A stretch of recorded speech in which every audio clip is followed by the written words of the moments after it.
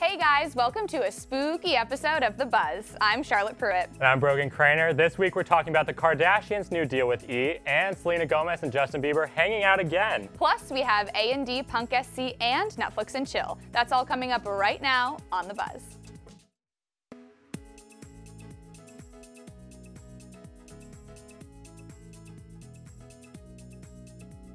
Starting off our countdown at number three, you can keep keeping up with the Kardashians. The Kardashians have signed a five year contract with E that will bring in $150 million to the family, according to TMZ. Kris Jenner confirmed at the summit in New York they've agreed to another deal, but they didn't go into details.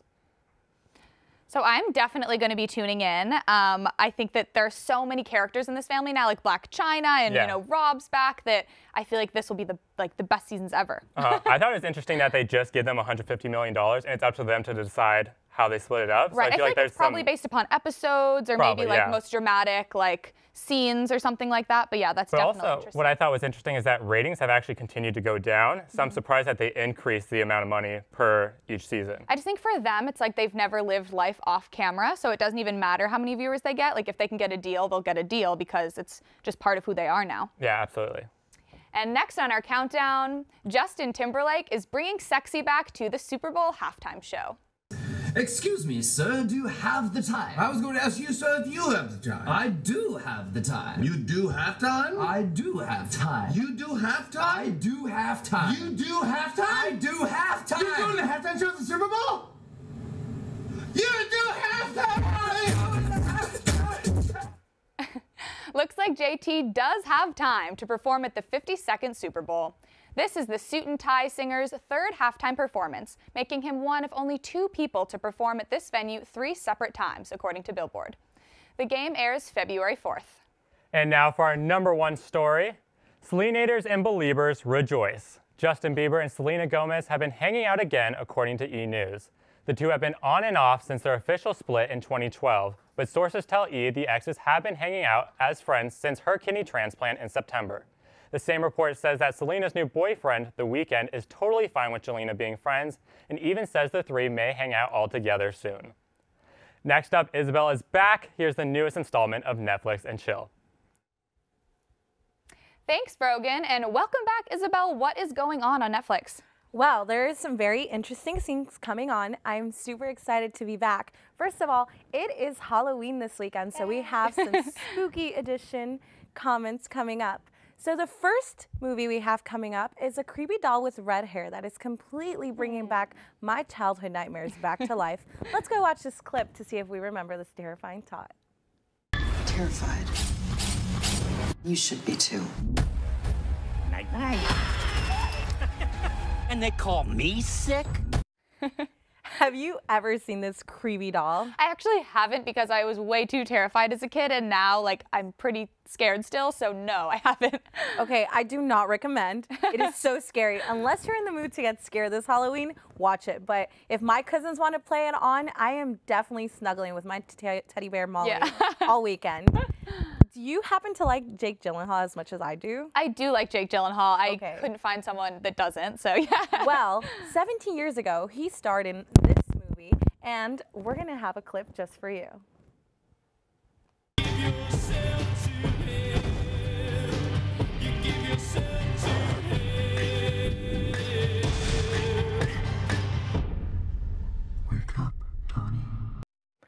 My goodness.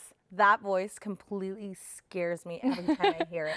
Have you seen Donnie Darko by any Once again, no, but I actually love horror movies, so I think that even though they're scary, especially during Halloween time, I'll have to tune into this one. Definitely. I mean, it's a psychological thriller that I completely do not understand. Like, I mean, I've watched it f- over five times. Maybe the sixth time I'll understand. But while the kids, We can have a Netflix and chill for real together and oh my watch it. we have to definitely. I think you'll like this next one coming up. But while the kiddos will be running around in buddy mask asking for treats, I'll be tuning in to watch this one just to get.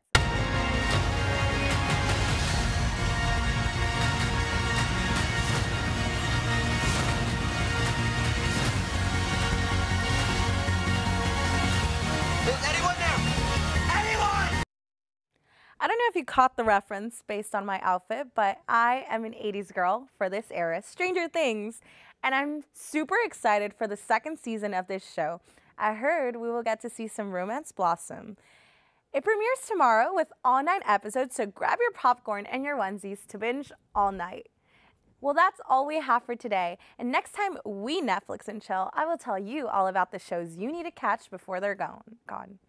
Now, we will toss over to Allegra for another installment of Music Minute. Hey guys, welcome to a special Halloween edition of Music Minute.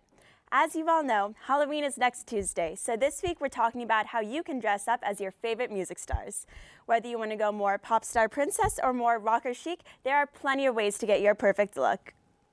When it comes to iconic music looks, it doesn't get any more classic than Britney Spears in her Baby One More Time video.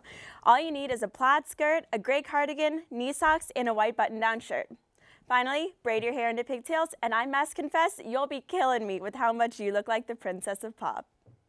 Now, if pigtails aren't really your thing, you can go for some Miley buns instead. There are lots of Miley looks to choose from, but my personal favorite would have to be her 2013 VMAs performance. I'm not sure how easily you can find a ready-made bare leotard, but with a basic gray bodysuit and some creativity, this look is definitely possible. Don't forget to add red lipstick and throw up your hair in Miley's signature buns. And lastly, if you've been dying for a chance to show off your air guitar skills, then Gene Simmons from Kiss is the costume for you. To create the legendary rockers look, dress in all black head to toe, Extra points if you go for black leather. To complete the look, paint your face in classic Kiss style and make your hair as big and messy as possible. And don't forget to stick your tongue out in every photo you take during the night. I personally don't think I could pull this one off, but if you're bold enough to go for it, you'll be sure to rock this Halloween. That's all for this week's Music Minute. Make sure to tune in next week for more exciting music news. Now I'm going to throw it over to A&D for some Punk SC.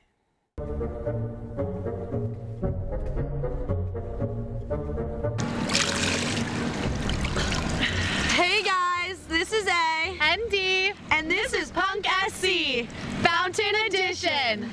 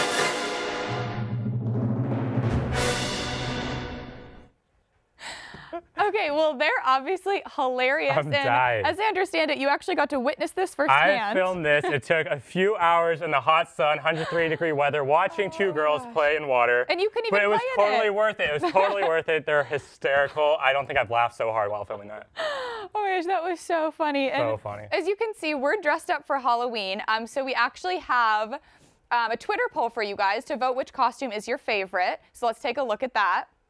So obviously, this was my outfit from earlier. It's as you said, like 103 degrees Yeah. outside. So changed into a little cat costume So instead. explain your vibe there, Shar. I'm thinking like an 80s workout person, you know, with my strong arms there.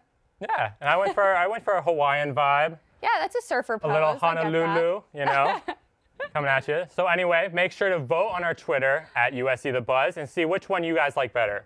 It's me. But anyways, well, that'll do it for us today on The Buzz. Thanks so much for tuning in. And don't forget to follow us on Instagram and Twitter at USC The Buzz for the latest pop culture news. We'll see you guys next week.